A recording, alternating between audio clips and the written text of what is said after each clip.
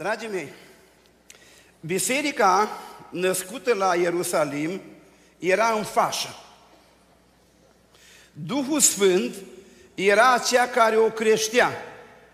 În fapte 9 cu 31 spune biserica se bucura de pace, se zidea sufletește, umbla în frica Domnului și cu ajutorul Duhului Sfânt se înmulțea. La predica lui Petru de la Ierusalim, după coborârea Duhului Sfânt, la numărul ucenicilor s-au adaus aproape 3.000 o singură dată, altă dată 5.000. Biserica creștea numeric. Și Cartea Faptele Apostolilor descrierea această creștere a bisericii. Domnul Iisus Hristos spunea că atunci când un păcătos se întoarce la Dumnezeu, în ceruri este o mare bucurie. Eu mă gândeam la bucuria care era în cer când în Ierusalim 3000 de păcătoși s-au întors odată la Domnul. Și mulțimile acestea mari au început să se convertească, să treacă la noua credință adusă de Fiul lui Dumnezeu. Ei bine, dar după ce s-au întors aceste mulțimi, Biblia vine în pasajele sale și descrie câteva întoarceri la Dumnezeu a unor oameni. În fapte 8, Samaria primește pocăința. În fapte 9 se pocăiește un singur om. În fapte 10 este Corneliu. Și asta îmi spune mie, prinzând în pasajele acestea întoarcerea unui singur om, aceasta îmi spune mie că fiecare om este foarte valoros înaintea lui Dumnezeu. Și că Dumnezeu ne tratează ca pe niște oameni foarte importanți pe fiecare în parte. De altfel, Domnul Iisus spunea în Evanghelia după Luca, în capitolul 9, versetul 25, și ce ar folosi un om să câștige toată lumea, nu tot orașul Phoenix, e mare, e grozav de mare, nu toată America, sunt multe bogății și multe frumuseți. Dumnezeu mi-a îngăduit și am călătorit mult pe pământul acesta și am văzut frumuseți și averi colosale. Dacă unul din dumneavoastră ar câștiga tot pământul, dar s-ar prăpădi sau și-ar pierde sufletul, nu i-ar folosi la nimic. Înseamnă că sufletul care l-ai primit tu de la Dumnezeu, acel suflet pe care Dumnezeu ți l-a împrumutat pentru o vreme, acel suflet pe care tu trebuie să-l dai înapoi la Dumnezeu, trebuie să fie foarte valoros. Este de o mare valoare. Fiecare din noi suntem foarte valoroși înaintea lui Dumnezeu. Mi-aduc aminte de o întâmplare. În casa fratelui Liviu Eugeniu a venit un grup de tineri. Pentru prima dată au venit. Și au venit târziu, o deranjat familia și au spus, frate Liviu, noi vrem să ne rugăm. Și fratele Liviu spune, hai începeți o cântare. Și au vrut să înceapă o cântare, nimeni n-avea caiet. Au vrut să înceapă o cântare, nimeni nu știa să cânte și erau copii născuți în pocăință. Și a început un băiat o cântare și au greșit-o. Și toți au început a râde și a început altul cântare și au greșit-o. Și fratele Liviu s-a dus afară și a zis supărat și a spus, Doamne, ăștia copii mă deranjează la o bucată de noapte. Înmut copiii din pat, le fac loc și îi vin să râdă la mine în casă. Și Duhul Sfânt îi spune înapoi, ferește-te să le spui vreo vorbă rea. Ei sunt foarte de mare valoare. I-am trimis la tine, ocupă-te, pentru că uite-te la ei. Din ei voi scoate păstori, din ei voi scoate slujitori, din ei voi fi, voi face prorocii mei. Și fratele s-a dus înapoi, atât de frumos am vorbit cu ei, atât mi-era teamă să-i jâcnesc cu ceva și după ani și ani de zile, tot grupul acela au ajuns niște oameni consacrați în lucrarea lui Dumnezeu. Eu mă uit la tineri de aici, la fetele astea, la băieții ăștia și îmi dau seama că voi sunteți de o mare valoare și vă tratez ca niște persoane foarte importante. Aici sunt proroce, aici sunt păstori, aici sunt slujitori, aici sunt lucrătorii lui Dumnezeu. Și fiecare din noi este important înaintea lui Dumnezeu. Dumnezeu să ne ajute să ne păstrăm sufletele curate pentru El. Amin? Dragii mei, în uh, pasajul care a fost citit, ne este descrisă convertirea, întoarcerea unui om la Dumnezeu. Omul acesta e Saul din Tarsul Ciliciei și analizându-l pe omul acesta, eu m-am uitat de fapt la două lucruri. M-am uitat la faptele lui Saul, la activitatea care o are el și m-am uitat la declarația care la un moment dat o face el. Și când vorbim de faptele lui Saul, el le recunoaște. Recunoaște, îi descris aici în fapte 9, le recunoaște în fapte 22, le recunoaște în fapte 26 și spune că era preocupat, ă, mânat de o râvnă nespus de mare pentru datinele strămoșești, preocupat să stărpească pe toți credincioșii. Ăsta era mandatul care credea că îl are el și în virtutea acestui mandat omul ăsta a ajuns să fie foarte dur, intra prin case, lega bărbați și femei, îi ducea legați la Ierusalim. Și ce dacă erau femei însărcinate? Și de ce dacă erau mame la mulți copii? Și ce dacă erau bătrâni putincioși? El, mandatul lui era să se silească, să-i facă să hulească. Am prigonit până la sânge calea aceasta, spunea Apostolul Pavel. Și când își dădeau sentința pentru un creștin și eu îmi dădeam votul împotriva lor. Omul ăsta a ajuns să fie un dur. Omul ăsta a ajuns să fie un om fără inimă într-un fel. În faptele lui așa este descris. Și nu insist mult la aceasta. Dar în faptele Apostolului, capitolul 23, în fața Sinedriului omul ăsta se ridică și face o afirmație și spune, fraților, eu am viețuit cu toată curăția cugetului meu înaintea lui Dumnezeu până în ziua de azi. Și există un conflict flagant. Există o contrazicere între faptele lui și declarația lui. Ăsta e Pavel cu faptele lui Saul și asta e declarația lui. Cum împăcăm noi aceste două versete? Și cred că cheia în care pun de acord aceste două versete, acele care vorbesc de faptele lui și acele care vorbesc de declarația și curăția cugetului lui. În Timotei, 1 capitolul 1, versetul 12 și 13, Apostolul Pavel spune așa, Mulțumesc lui Dumnezeu care m-a găsit vrednic și m-a pus în slujba lui. Versetul 13, Măcar că mai înainte eram un hulitor, un prigonitor și un bajocoritor. Dar lucram din neștiință în necredință. Știți care este uh, scuza? Știți care este articolul care îl absolvă pe Pavel de vinovăție? El lucra din neștiință în necredință. Primul gând care l-am legat în seara asta de evangelizare îi gândul legat de vremea de neștiință. Apostolul Pavel în capitolul 17 din Faptele de Apostolul, cu versetul 30, are un enunț și el spune așa, Dumnezeu nu ține seama de vremuri de neștiință, ci poruncește acum tuturor oamenilor de pretutindeni să se pocăiască. Amin? Pentru că a rânduit o zi în care va judeca lumea după dreptate, prin omul pe care l-a rânduit pentru aceasta și despre care a dat tuturor oamenilor o dovadă de netăgăduit prin faptul că l-a înviat din morți. Dragii mei care ascultați Evanghelia în seara aceasta, enunțul lui Dumnezeu este clar.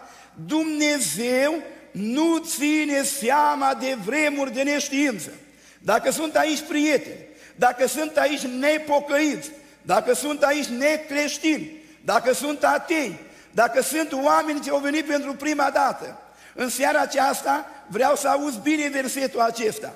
Dumnezeu nu ține seama de vremuri de neștiință, dar poruncește acum, în seara aceasta, tuturor să se pocăiască. Dumnezeu să ne ajute pe toți.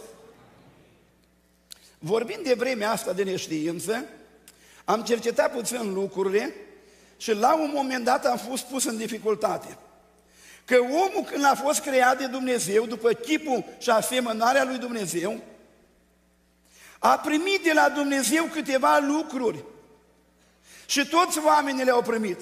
În Eclesiastul, capitolul 3, versetul 11, spune înțeleptul așa, că Dumnezeu face frumos fiecare lucru la vremea Lui și a pus în om și gândul veșnicie. Măcar că omul nu poate cuprinde de la început până la sfârșit toată lucrarea lui Dumnezeu.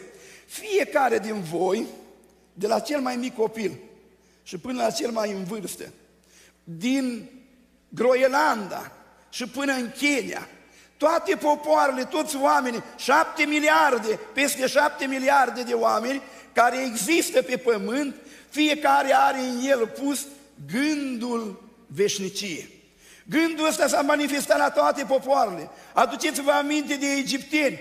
Când murea un faraon, era omorâtă toată curtea și îngropată. Aduceți-vă aminte de triburile de indieni de aici, din America, pe pământurile cărora locuiți dumneavoastră. Ei credeau într-o uh, veșnicie, într-o viață după moarte, în, în, într-o vânătoare veșnică. Gândul veșniciei îi pus în fiecare om. Ăsta e pus de Dumnezeu. Al doilea lucru care l-a pus de Dumnezeu. Scrie în cartea Romani, în capitolul 2, versetul, Pavel vine și vorbește de, despre evrei. Și când vorbește de evrei, vorbește de superioritatea lor, vorbește de darea lege pe muntele Sinai, dar trece deodată bariera, trece dincolo de, de granițele evreilor și începe să spună, versetul 14, că neamurile, măcar că n-au lege, fac din fire lucrurile legii, prin aceasta ei care n-au o lege, îți sunt singur lege. Și ei dovedesc că lucrarea legii îi scrisă în inimile lor, fiindcă despre lucrarea aceasta mărturisește cugetul lor și gândurile lor, care sau se învinovățesc, sau se dezvinovățesc între ele. În mintea noastră îi un tribunal. Dumnezeu ne-a pus odată cu gândul veșnicie, ne-a pus în noi conștiința. Asta e expresia, cugetul de care vorbea Apostolul Pavel. Fiecare om are o conștiință în el, e un gând pus de la Dumnezeu. Și când omul săvârșește un rău, conștiința, procurorul care l-a pus Dumnezeu în el, vine și-l acuză. Nu-i bine. Eu vă întreb, dacă un om nu-i creștin, nu-i pentecostal, e ateu, nu crede nimic. Într-o zi se supără și îl lovește pe altul în frunte. Îi dă cu ceva în cap. El știe că e rău? Știe. Știe. Dar de unde știe? De la conștiința care a pus-o Dumnezeu. Neamurile care n-au o lege își fac din fire lege și gândurile se învinovățesc sau se dezvinovățesc între ele. Când spui o minciună la mama, una mică. Una mititică i-a spus, nu te mustru conștiința? Când ai făcut un leu, ori neascultare, ai săvârșit un păcat, fără să spună păstorul, fără să spună părinții, fără să vină comitetul, deodată conștiința lui Dumnezeu te acuză. Că Dumnezeu o pus la creație în fiecare om. Pe de o parte gândul veșnicie, pe de partea cealaltă o pus conștiința. Dragii mei, când vorbim de vrem de neștiință, vreau să mă apropii un pic de copiii fraților. Când am venit în America, primul frate pe care l-am vizitat să ne rugăm pentru el, era băiatul unui bun pocăit care a fost împușcat de o bandă, de niște prieteni de-a lui, într-o răfoială. Și fratele Sorin îmi spune, hai să ne rugăm pentru un frate, tata câțiva copii care au fost împușcat. Eu zic împușcat. Păi la noi în România nu știu spui încă împușcat. Ei, un alt băiat care a venit la noi la rugăciune, l-a adus mama, ci că are probleme. Ce probleme? Droguri. Ei, alt, alte probleme, infidelități, păcate de curvie, de prea curvie, abateri din astea grosolane. Până la urmă am întrebat niște familii care stau bine material. Dar mai trebuie să vii odată din România aici. Nu ți se pare că ai plătit preț prea mare? Și el a spus, frate, eu am venit cu o fost voia lui Dumnezeu. Păi când ai un băiat divorțat și unul în pușcărie și unul nu vine la adunare, nu e un preț prea mare? Vreau în seara asta să vorbesc cu copiii pocăințelor. Să le vorbesc ceva din vremea de neștiință. Când au ei vremea asta de neștiință? Păi am fost născut în familie de pocăiți. Am fost adun la adunare, am spus și eu o poezioare, am cântat în corul de copii, am cântat și au venit vârsta, 15 ani, 20 de ani, n-am luat botezul și m-am dus în lume și am păcătuit, așa cum faceți unii din voi. Și după aia vin înapoi la adunare. Îmi pare rău. Mă căiesc. Mi se aplică mie versetul acesta.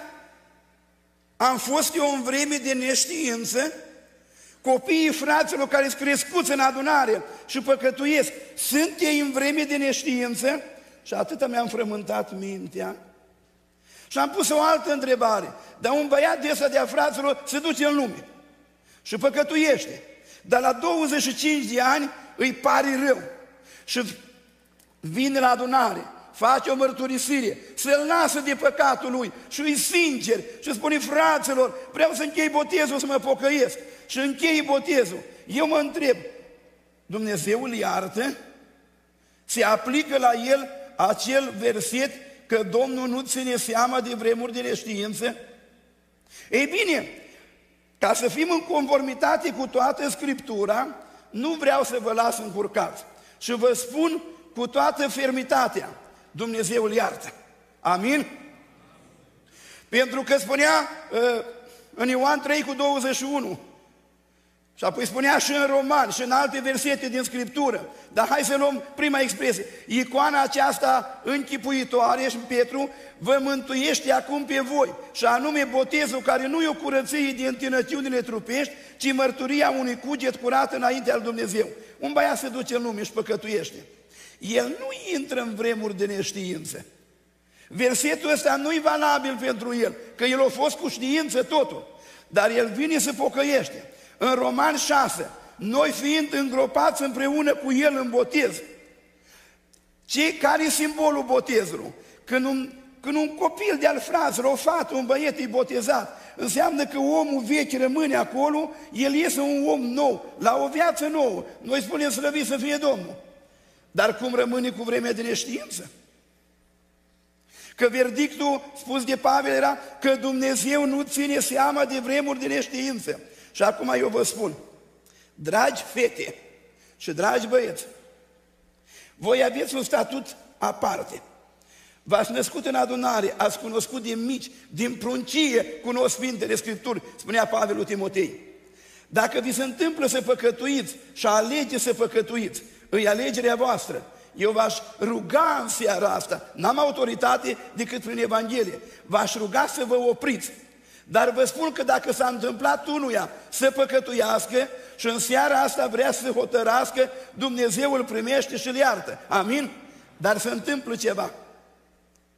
Când vorbeam de mărturisirea păcatelor, spuneam că atunci când păcatul ne acuză, că diavolul ne acuză prin păcatele noastre, unul uh, Ioan 3 cu 21, dacă nu ne osândește inima, avem îndrăzneală.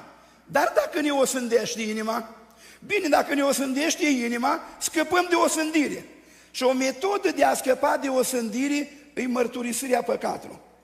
În momentul când noi mărturisim păcatele și ne lăsăm de ele, Proverbii 28, 13 și 14, da? Noi căpătăm îndurare, Dumnezeu ne iartă. Păcatul nu mai are drept să ne acuză. Diavolul nu mai are drept să ne acuze dar știți ce se întâmplă? Dumnezeu șterge păcatul, dar îl șterge din cugetul nostru, din cugetul de care vorbeam, dar nu îl șterge din memoria noastră. Să ne minte. Nu îl șterge din memorie.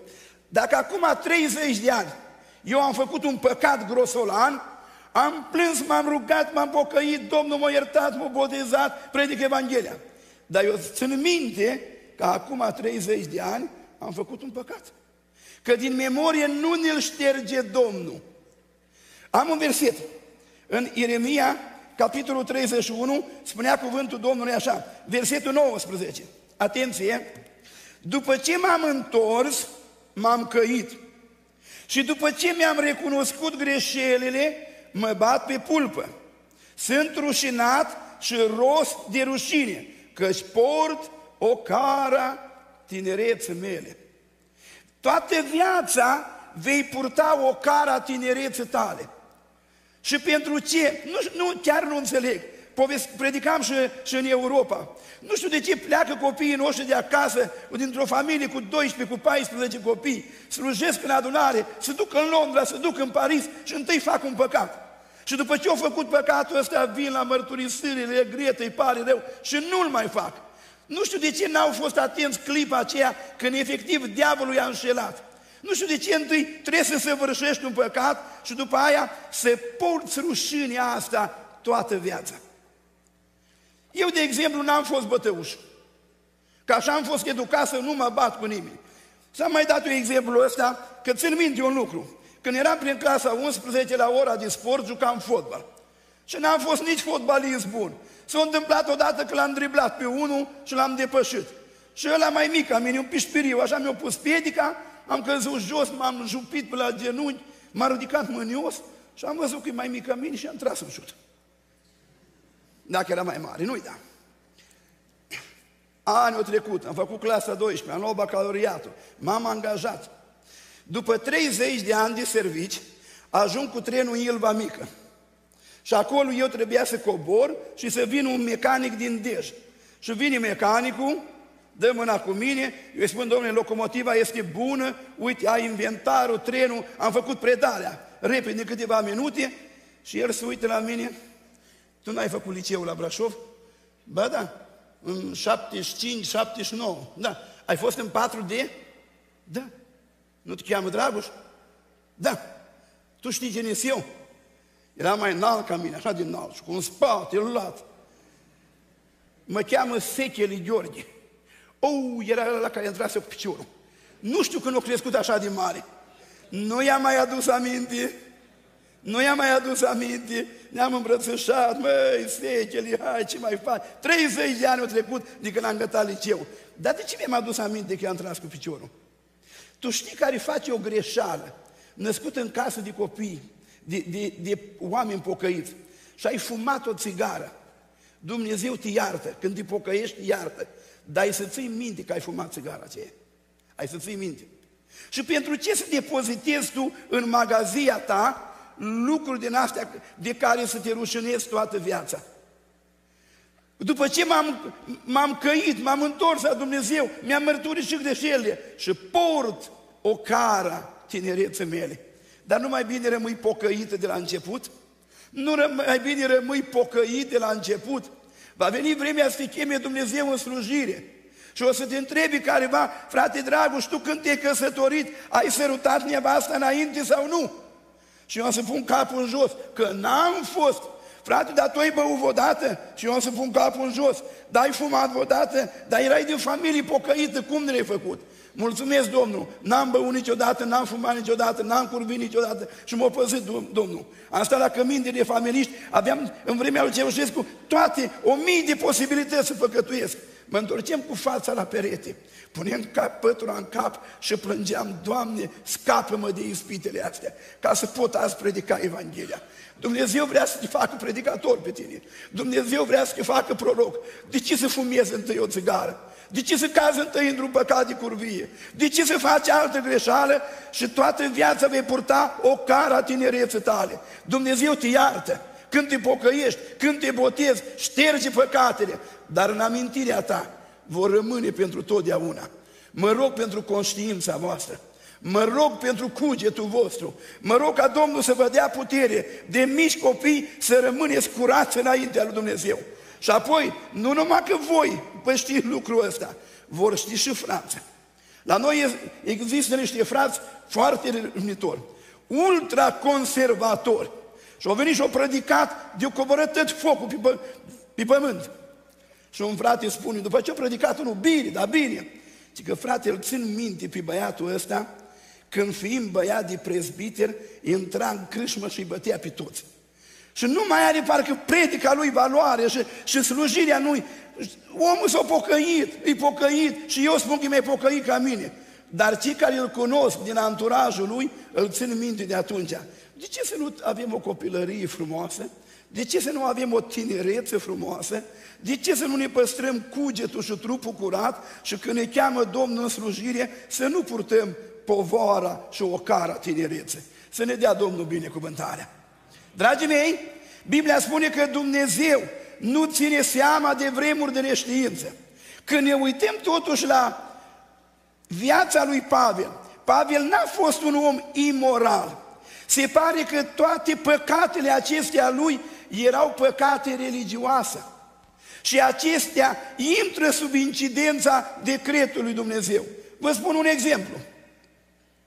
Sunt oameni, așa au fost învățați, așa au crezut, așa au știut, că la Domnul ajungi tare greu.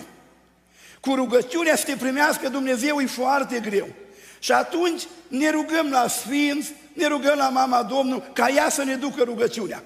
Așa cred unii oameni, noi nu-i disprețuim, nu-i certăm, nu-i acuzăm, dar le citim din Scriptură, din Timotei, capitolul 2, versetul 5. Și Biblia spune, este un singur Dumnezeu și un singur mijlocitor între om și Dumnezeu. Cine? Omul Iisus Hristos, slăvit să fie numele Lui. Bun, dar aceia care s-au rugat până acum la Sfinți, ce facem cu ei? Păi știi ce facem? Le citim decretul. Dumnezeu nu ține seamă din vremuri de neștiință. Amin? Sunt oameni care cred că după moarte, prin anumite slujbe și pomene și daruri, pot să îmbunătățească soarta celui mort și din chinuire să-l ducă în loc cu verdeață. Asta cred ei, așa li s-a spus de mici copii, ei așa știu. Și eu merg în Apocalipsa, în capitolul 20, versetul 12. Și ne prezintă acolo Ioan judecata. Am văzut un scaun de domnie mare și alb și pe cel ce stătea pe el. Și morți mici și mari stăteau în fața lui. Niște cărți au fost deschise și au fost deschise și o altă carte, care e cartea vieții. Și fiecare era judecat după cărțile acelea. Acum eu întreb, când un om moare, nu se mai poate schimba nimic, dragi prieteni, dacă sunteți aici. Nimic. Cartea ta este închisă, îi pus în arhiva lui Dumnezeu și în ziua judecății după faptele tale. Dar ce facem cu atâția care au crezut altfel? Păi le aplicăm legea. Și legea spune așa, Dumnezeu nu ține seama de vremuri de neștiință. Amin? Unii oameni cred că pot încreștina copilași. La câteva săptămâni îl face creștin și așa e credința lor.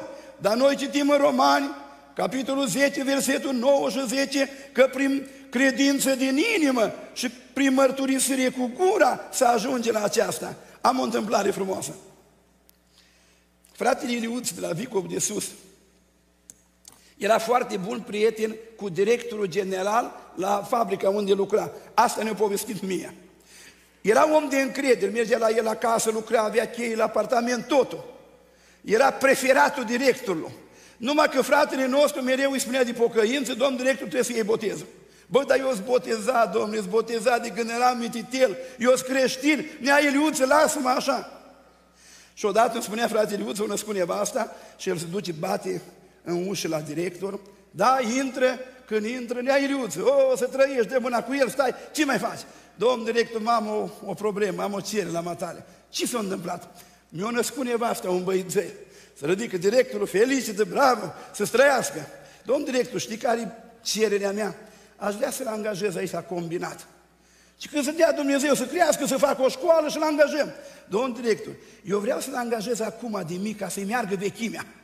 Și directorul îi spune, dar nu pot, mă, Neailu, păi dacă ne audă așa ne dă la ziar că am, că am angajat un băițel de 300 mâini. Spune, dar dumitale, cum ești creștin de la 300 mâini și nu se poate? Și ai așa o vechime. Și directorul spune, stai că mai prins un pic, nu știu, lasă-mă, lasă-mă să mă gândesc. Știți, unii cred că încreștinarea îi la câteva săptămâni.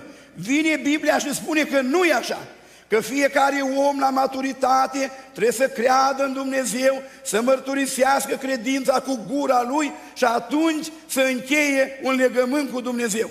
Dar ce facem cu alții care au crezut altfel? Păi punem sub legea aceasta și legea spune clar, Dumnezeu nu ține seama de vremuri de neștiință. Ăsta e articolul de lege și doresc ca Dumnezeu să ne binecuvinteze. Amin? Am din nou aceea, nu știu de ce, pentru tineri din biserică, chiar nu cunosc nicio faptă rea voastră.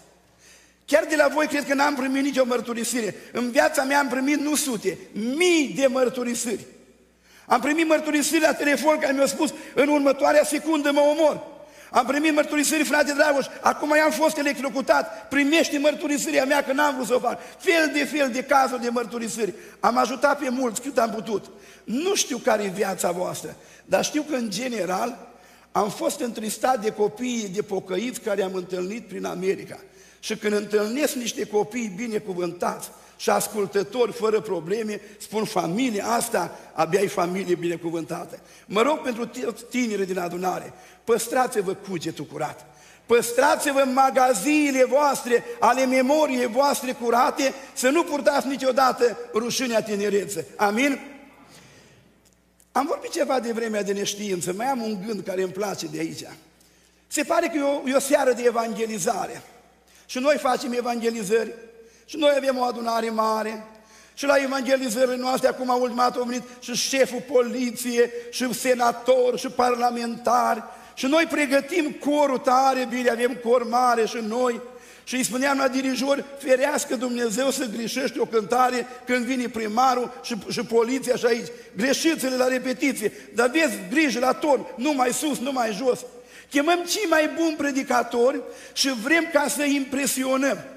Vrem să aibă evangelizarea uh, un randament. Știți care e părerea mea în final?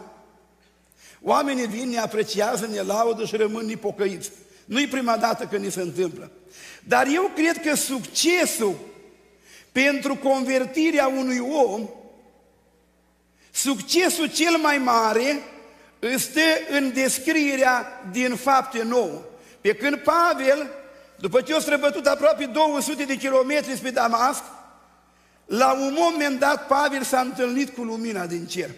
Dragii mei, pentru a se pocăi un om, pentru ca un copil de pocăit să se pocăiască, îi nevoie de lumina lui Dumnezeu.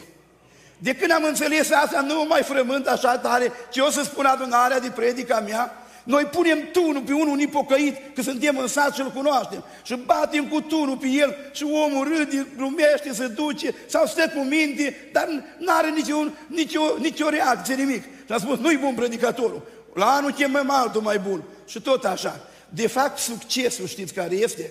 Succesul stă în întâlnirea omului cu Dumnezeu, în lumina aceea din cer. Și eu m-am rugat pentru seara asta și am spus, dincolo de cântările voastre, dincolo de predica mea, doresc în adunarea asta să fie lumina lui Dumnezeu. Și când ai să te întâlnești cu lumina lui Dumnezeu, va trebui să iei o decizie. Și aș vrea să continuăm să stăm într-un duc de rugăciune. Doamne, am băiat acolo, îl văd, nu-i atent la predică. Am fata care nu mă ascultă, lasă lumina din cer și peste el.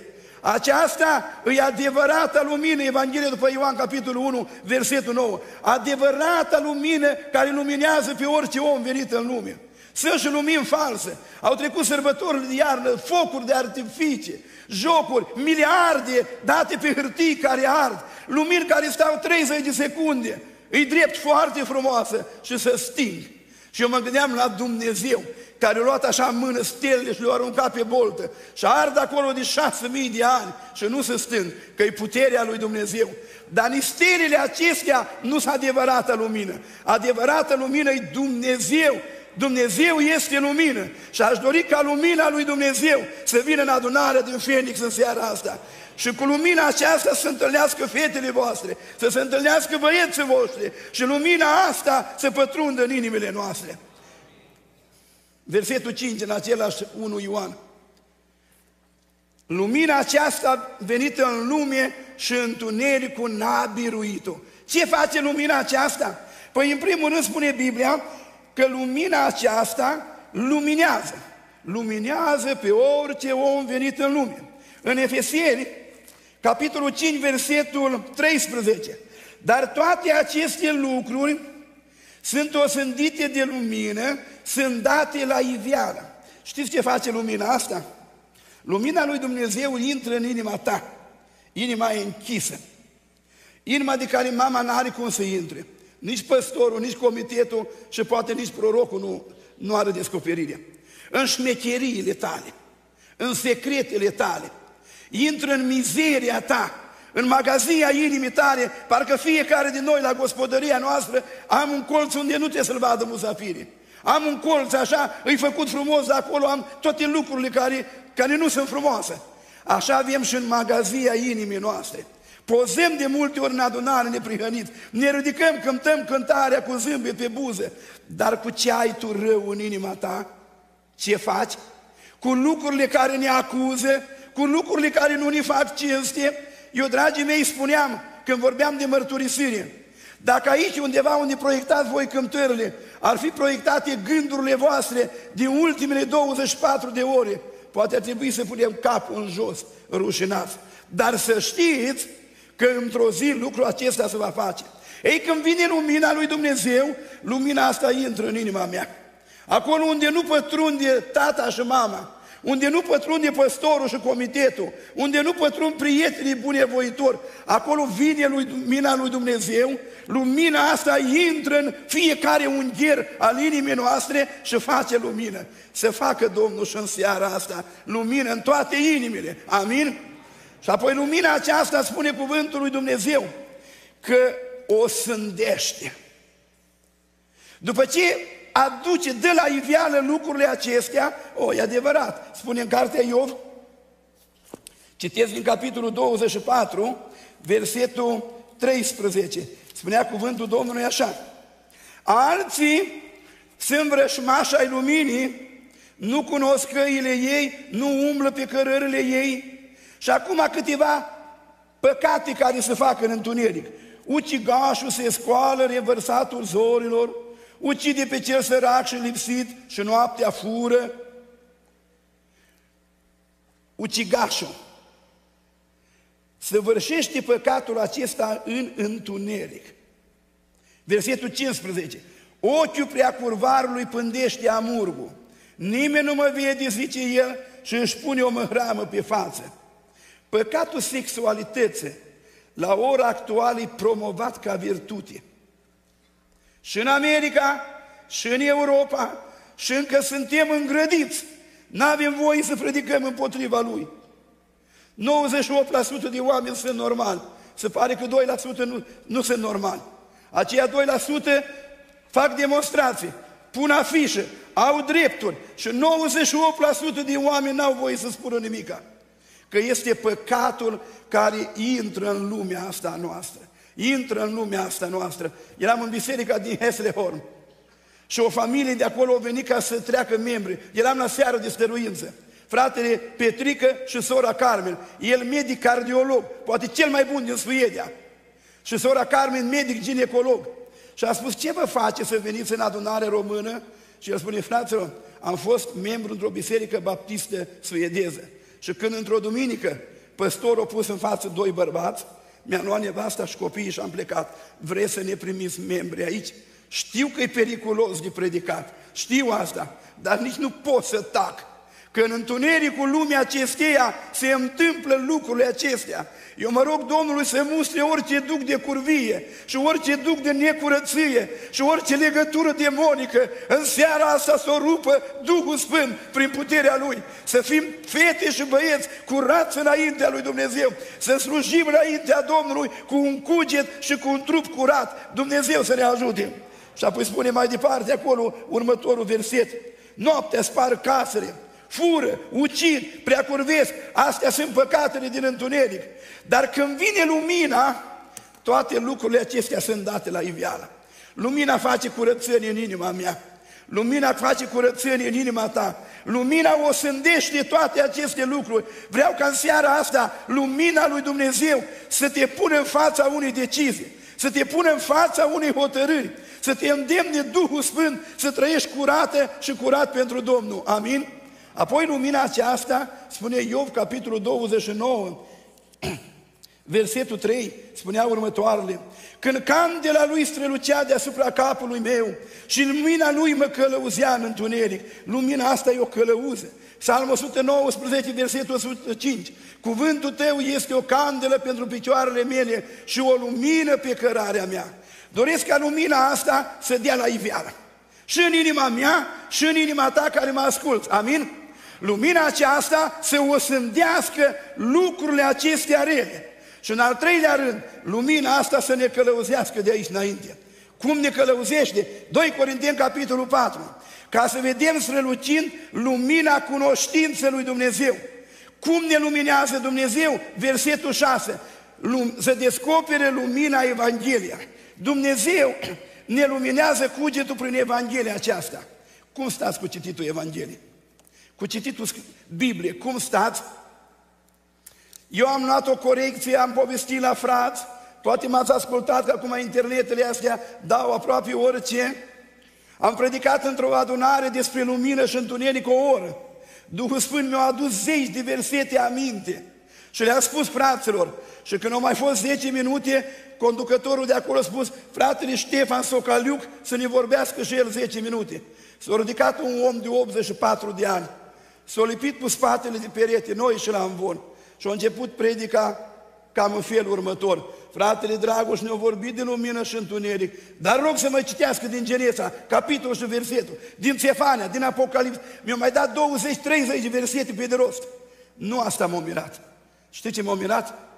O declarație a lui spus, fraților, am 84 de ani și de peste 40 de ani sunt orb și nu văd nicio geară de lumină. Am început să plâng.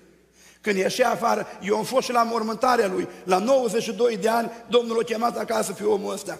Și când a ieșit afară în adunare, îl ducea nevasta de mână, am spus, frate Ștefan, câți ani ai? 84. De câți ani nu vezi? Am eu 40 de ani. De unde știi așa de bine Scriptura? Și el spune, frate Dragoș, în ziua în care am rămas orb și mi-am dat seama că voi fi orb pentru totdeauna, am vorbit cu nevastă, mi-am făcut o înțelegere. Gătăm treaba mai repede și ea de atunci până acum în fiecare seară îmi citește o oră de Scriptură. Surori dragi, din adunare, fete tinere din adunare, cât citiți voi din Scriptură? Cât ai citit din Scriptură? Eu am acasă animale și acum lucrez pământ, asta e meseria mea. Și câteodată vin acasă, pun capul pe pernă și ui să spun tatăl nostru, că sunt prea obosit. Dar oamenii ăștia în vârstă, terminau treaba mai repede și o oră nevasta îi citea lui din Scriptură. Și iarăși mă întreb, vrei să te lumineze Dumnezeu? Lumina lui Dumnezeu o găsește în Sfintele Scripturi. Puneți mâna pe Scriptură. Trăim acum la, la, la o, o explozie, dacă vreți, a informaticii. Aveți acces pe toate site-urile, toate cunoștințele. Mie îmi spunea nevastă mea, măi, vezi ce predici în America, că vorba ta înconjoară pământul în câteva minute. Și e adevărat. Vorbele noastre înconjoară pământul. Și pentru că avem atâta informație, nu mai citim în Scriptură. Ai citit azi un cuvânt din Scriptură? De la anul nou încoace, pe unde ai ajuns? Un prezbiter de la noi, anul trecut, prin sfârșitul februarie, începutul lui martie, o luat o soră văduvă. Soră, hai că te duc eu cu mașina acasă. Și mergea cu mașina, ce mai faci, soră, mă, tale, ești bătrână, ești văduvă. Frate, ce să fac? De la începutul anului am început să citesc Scriptura toată. Am luat-o din Genesa să o citesc până în Apocalipsa. Și că ce coincidență, și eu am început de la anul nou, spune frate slujitor. Soră, mă, tale, pe unde ai ajuns? Și ea spune, eu sunt la faptele apostolilor, dar tu? Și fratele, că nu i-am răspuns, eu eram la Leveticu ajuns. Uh, una găta Scriptura și slujitorul abia o începea. Tu pe unde ești cu Scriptura? Că nevoie de lumina lui Dumnezeu și lumina lui Dumnezeu o găsim în Sfintele Scripturi. Apoi o găsim prin Duhul Sfânt, Roman 9 cu 1. Spunea Pavel așa, cugetul meu luminat de Duhul Sfânt îmi este martor. Fraților, cugetul nostru iluminat de Scriptură pe de o parte și de Duhul Sfânt pe de partea asta la altă. În egală măsură noi trebuie să lucrăm împreună. În Matei 22 cu 29 spune, vă rătăciți că nu cunoaște nici Scripturile, nici puterea lui Dumnezeu. Unii se rătăcesc că nu cunosc Scripturile. Ei nu cercetează Scripturile, ei nu știu Psalmul 1 sau Psalmul 23, dar ei fug la prorocii. Sunt niște proroci din țară, dau busna acolo, să-i vorbească Domnul o dată, de două ori, sună în țară, cheltuie bani, frate, o lucrare pentru mine. Dar lumina lui Dumnezeu o găsesc în Scriptură. Alții disprețuiesc prorociile, n-au nevoie de, de darurile Duhului Sfânt. Noi avem Scriptura și amândoi. Dacă vâslești numai cu o vâslă, ai să te rotești roată până amețești. Noi trebuie să cunoaștem și Scripturile și puterea lui Dumnezeu în egală măsură. Dumnezeu să ne ajute, amin? În Daniel vine în zbor iute îngerul Gabriel și îi spune versetul 28, 22. Daniele, am venit să-ți luminez mintea. Oare nu e o ofensă asta? Daniel era căpetenia înțelepților Babilonului. Aritmetica din Babilon, medicina din Babilon, științele din Babilon, astronomia din Babilon se predau acum în zilele noastre. Era o clasă superioară, o clasă de înțelepți, iar șeful lor, cel mai înțelept de toți, era Daniel. Și vine Dumnezeu și spune, am venit să-ți luminez mintea. Eu doresc ca lumina lui Dumnezeu să ne lumineze și pe noi în seara asta, amin? Lumina aceasta orbește ochii din afară, dar îi luminează pe cei dinăuntru. Lumina aceasta aduce o teamă reverendă.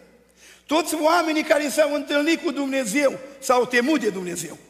Au căzut înaintea lui Dumnezeu. De altfel, când într-o biserică se predică Evanghelia și oamenii stau fără teamă de Dumnezeu, că aici e Dumnezeu, Matei 18 cu 20, când se adună doi sau trei în numele meu, eu sunt în mijlocul lor. Eu cred că aici e Hristosul lui Dumnezeu. Să avem o atitudine corespunzătoare. Predicam odată la o căsătorie și înainte de a predica, eu s-au făcut prezentările.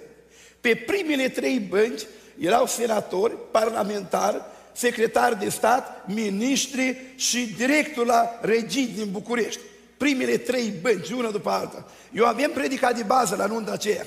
Și m-am gândit eu, ce să predic atâția? Să spun de supunere dulcegării de asta la nuntă, așa cum le spunem noi. E frumoasă și ele. Dar știți ce am predicat la nunta aceea? Am vorbit despre judecata viitoare. Mi-am spus eu, când mai prind atâția politicieni odată? 20, 30 de politicieni din aia mari? Când mai prind eu să le predic? Am vorbit de judecata viitoare, cum o să fie și cum pedepsești Domnul păcatul. Am terminat nunta, am mers la masă, vine un senator la mine, s-a prezentat, nu-i spun numele, dă mâna și, domnule, vă felicit. Aveți așa un, cum să spune la voi, un har, ai așa ceva, un vino încoace. Eu n-am fost niciodată în, la biserică de pocăiți, dar să știi că m-am simțit foarte bine. Și eu am pus capul în jos, așa un pic supărat, și am spus, domnule senator, eu azi am, am greșit. El spune, nu, nu, nu, nu te scuza, n-ai, cu ce ai greșit? Domnule senator, eu am predicat ca dumitale să nu te simți bine. Eu am vrut să te simți rău. Eu am vrut să vorbesc de sfințenia lui Dumnezeu și de păcatul dumitale. Și am vrut să vorbesc de judecata lui Dumnezeu. Dacă n-am reușit, am ratat predica. Și el spune, nu, stai liniștit, așa când m-am gândit azi la judecată, nu m-am gândit de când sunt eu. Fraților, noi nu suntem puși aici ca să asigurăm un confort sentimental ca să zâmbiți dumneavoastră. Eu sunt pus să vorbesc de sfințenia lui Dumnezeu, sunt pus să vorbesc de păcatele noastre și am vestea bună, am păcării cu Dumnezeu. Sunt pus să chem lumina lui Dumnezeu. Spuneam fratelui Antemie, vezi cât popor este, vezi câte capuri sunt aici, atâtea nevoi sunt, atâtea judecăți, care om în stare să satisfacă toate nevoile dumneavoastră, dar este Duhul Sfânt în stare. Îi lumina lui Dumnezeu în stare să atingă inima ta și în seara asta să iei hotărâri de pocăință, amin? Apoi lumina aceasta te determină la o decizie. Apostolul Pavel cade cu fața jos. Acolo un colbu din drum vine renunțarea lui și el renunță la toată știința lui. Nu mai termina colegiul, ai luat bacalaureatul cu șapte și nu mai poți să fii pocăit că ești om de știință. Dar Apostolul Pavel a fost șef de promoție, unul din cei mai înțelepți oameni. Erau steaua iudaică ă, denumită de rabinii lor. Și în colb acolo, în drum, o căzut cu fața la pământ și tremurând, o renunțat la toată știința lui. Acolo renunța la toată religia lui, în Galateni 1 cu 14. Eu eram însuflețit de o râmnă nespus de mare pentru datele strămoșești. Dar acolo când au căzut cu fața în jos, au renunțat la datele lor, la obiceiurile lor, chiar la obiceiurile frumoase a românilor pe care le-ați adus de, din România și n-au ce căuta în adunarea lui Dumnezeu. Poate vine vremea să renunțăm la unele din ele care nu se justifică în Scriptură. Acolo în praful ăla din drum, Pavel o renunța la voința lui. El avea gardă de corp, avea scrisori de acreditare, avea sabia la brâu, dar a uitat că le are. La un moment dat a spus, ce vrei să fac? Aș vrea ca lumina lui Dumnezeu să te determine în seara asta să spui întrebarea, Doamne, ce trebuie să fac? Că ești fată născută în adunare, aici în familie de pocăiți și slujești Domnul, dacă mai ai încă cugetul murdar, dacă mai ai încă gânduri de răzvrătire și neascultare față de părinți și de biserică, întreabă-te în seara asta, Doamne, ce să fac? Dacă ești un băiat aici în adunare, întreabă-te, Doamne, ce trebuie să fac? Și lumina lui Dumnezeu să vă nomineze pe toți. Amin? Timpul trece, mă apropii de încheiere. Al următorul punct din citirea noastră voia să fac o referire la aportul ucenicilor. Vedeți dumneavoastră, putea să-i spună Hristos din ceruri, Pavele, primește botezul în apă, botează cu Duhul Sfânt, fii pocăit, dar nu-i spune așa, du-te în cetate și acolo să se va spune ce trebuie să faci. Dragii mei, așa îmi place de mult de oamenii călăuziți de Dumnezeu. Că Domnul se duce la Anania, un bărbat temător și spune, Anania, iată-mă, Doamne, du-te în Damas pe ulița care se cheamă dreapta, în casa lui Iuda. Acolo este un om numit Saul din Tars. El se roagă și a văzut veni și punându-și mâinile peste el un om ca să capete vederea. Și Anania spune, Doamne, dar eu știu tot rău care l-a făcut omul ăsta la Ierusalim. Ba și aici are putere. Și Dumnezeu îi spune, Anania, destul, Omul ăsta, 9 cu 15, e un vas pe care l-am ales din pântecele mamei lui, care va duce numele meu înaintea împărațului Israel, înaintea oamenilor și înaintea neamului și căruia îi voi arăta tot ce trebuie să sufere pentru mine. Și Anania se lasă călăuzit de Duhul Sfânt. Așa doresc în adunarea asta să fie slujitor plin de Duhul Sfânt. Predicatorul să fie plin de Duhul Sfânt, prorocii să fie plin de Duhul Sfânt, cântărețul să fie plin de Duhul Sfânt.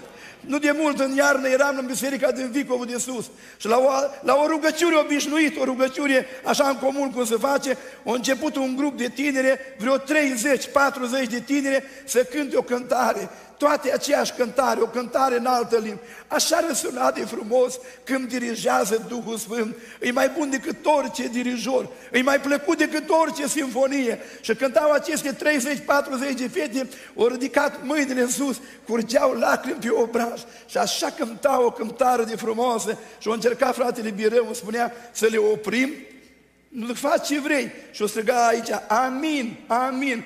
El cântau plin de bucurie cu mâinile pe sus. Și am spus, mai lasă-ne, măi, mai lasă-ne cu ce frumos cântă. Al dori cântăreță să fie plin de Duhul Sfânt. Să cântați ce repetați voi luni sau marți și în adunare să coboare Duhul Sfânt peste voi. Să fiți plini de Duhul Sfânt. Să cântați în alte limbi și Dumnezeu să vă dea darurile acestea, amin? Oamenii lui Dumnezeu trebuie să fie plini de Duhul Sfânt. Și Anania a demonstrat că e plin de Duhul Sfânt. O dat frică la o parte, o intrat în casa lui Iuda și a spus, frate Saule, Dumnezeu care ți s-a arătat pe drumul Damascului m-a trimis la tine ca să scape vederea. Am fost la o priveghere la un frate. Și printre alții, cei care au predicat, pentru că băieții lui sunt în America, undeva în Los Angeles, un om la vreo 80 ceva de ani, o predicat un frate de 90, acum are vreo 93, 94 de ani. Este păstor, este proroc și lucrează Dumnezeu prin el. Și spuneți că fratele știți cum s-a pocăit? Fratele care era mort, era un om al lui Dumnezeu, un proroc, când într-o seară s-a făcut stăruință și a primit mai mult Duhul Sfânt, mărturii păstorul grădinarul Maricel din Dorohoi și alții, vecinii au venit cu gălețele, au crezut că o lua casa foc. Casa era plină de flăcări de foc. A fost acolo un loc de rugăciune permanentă. Și fratele Toader Ciubotaru spunea, fraților, eram într-o iarnă, așa era un viscol și un frig, și când stam în casă îmi spune Duhul Sfânt Toader, du-te în satul Iezer, la familia plăcintă, la omul cu tare, spune să pocăiască. Nu-ți venea să dai un cățel afară, dar mi-am luat sumanul, m-am îmbrăcat, m-am încins bine, m-am dus pe jos, prin troiene, m-am dus la Iezer, l-am căutat și am spus, omule, m-a trimis Duhul Sfânt să te pocăiești. Și ce trebuie să fac? Să crezi în Dumnezeu, să iei botezul? Păi botează-mă. L-au botezat, s-au rugat împreună, Domnul l-a botezat cu Duhul Sfânt și amândoi acum au fost tovarăși de slujbă până în anii bătrânețe. Dar dacă omul ăsta era comod, dar dacă spunea că să meargă altul, doresc ca fiecare de noi să fie harnici pentru Dumnezeu și să fim plini de Duhul Sfânt. Am multe cazuri. Știu frați care i-au trimis, au mers 40 de kilometri pe jos. Trei frați i-au trimis Duhul Sfânt și i-au spus, du-te în satul cu tare și când au ajuns acolo, au intrat în casa unui om, ne-a trimis Domnul la voi. Oameni nepocăiți, nici un pocăit în sat. Dar pentru ce? Să cântăm, să ne rugăm? O spus, stați așa, să chem vecinii. O chema vecinii, o umplu casa și acolo s-a înființat prima biserică. Îi tata fratelui Octavian care a predicat aici la dumneavoastră. Oameni plini de Duhul Sfânt. Așa să fie în biserica asta, amin? Ultimul gând care aș fi vrut să vi-l spun e legat de comportamentul vechilor tovarăși. S-au pocăit Saul și acum au început să predice imediat. Toți care îl ascultau rămâneau uimiți. Dacă există un grup de băieți mai nepocăiți, au întâlnirile lor, problemele lor, distracțiile lor, când unul din voi se pocăiește bine, celălalt se miră de voi. Așa că în casa lui Gedeon, știi? Când Gedeon s-a ridicat și a sfărmat parul închinat lui Baal, au venit evrei și au spus, de cine este ca jucăria? Ei, când din grupul acesta unul se pocăiește cu adevărat, intră în post, în rugăciuni, în stăruințe, ceilalți se vor mira. Dar ce te-au apucat, măi? Ai, nu te mai da și tu așa de pocăit. Am întâlnit multe din astea. Dacă cineva e nepocăit și vrea să se pocăiască, întâi vei fi o pricină de uimire. Se vor mira prietenii, tovarășii tăi de distracție. Ce s-a întâmplat? Nu ne vine a crede. Dar nu rămân aici. Că în capitolul urmă, în versetul următor, după câtva timp, iudeii s-au sfătuit să-l omoare. De acum vine prigoana. La noi în sat și cu asta închei. S-a pocăit o, o fată, părinții au fost foarte uh, uh, duri cu ea, ea s-a ținut de pocăință, imediat s-a căsătorit, are familie, trăiește fericită, iese în adunare. Mihaela. După 13 ani, sora ei de corp s-a pocăit. Dar între timp, doi frații ei au ajuns preoți ortodoxi, au primit parohie, slujau într-o familie foarte ortodoxă. Și după 13 ani s-a pocăit a doua fată, era studentul în Suceava. Și noi aveam duminica zi de post. Foarte des noi duminicile stăm cu toată adunarea de dimineață până seara. Dacă nu e niciun eveniment, stăm în adunare, cu copiii, cu tot. Era o zi de post. Și primește un mesaj de la un uh, fratisul să vii până acasă să vorbim.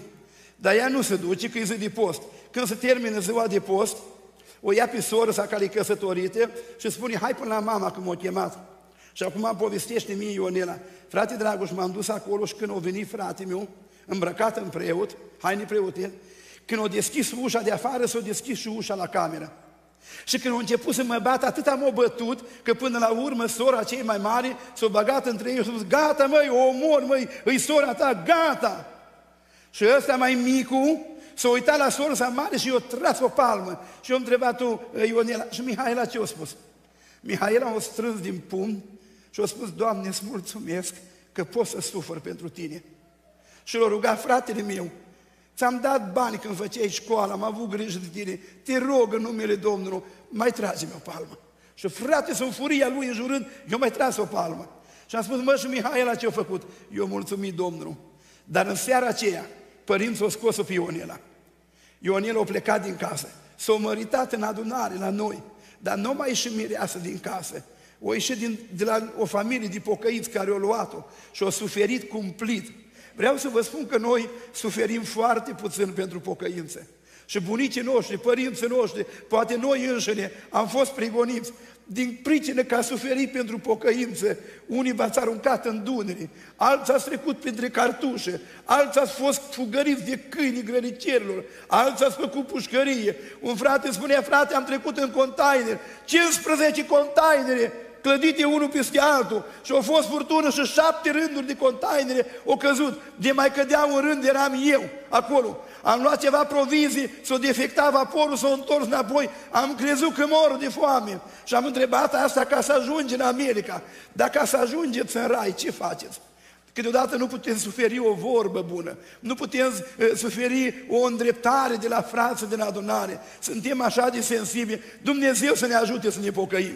Fraților, am vrut să vă spun că în procesul de convertire există un verdict, un decret de lege. Dumnezeu nu ține seama de vremuri de știnești. Dumnezeu nu ține seama de vremuri de neștiință. Hai să ne pocăim în seara asta. Amin? Nu mai vorbesc ce pocăința, dar cheia pocăinței, cheia succesului. Eu cred în asta 100%, mai mult decât asta. Nu stă într-un om, nu stă într-un cor, nu stă într-o organizare, stă în intervenția lui Dumnezeu, în lumina lui Dumnezeu. Și în lumina lui Dumnezeu să rămână în continuare peste voi. Amin.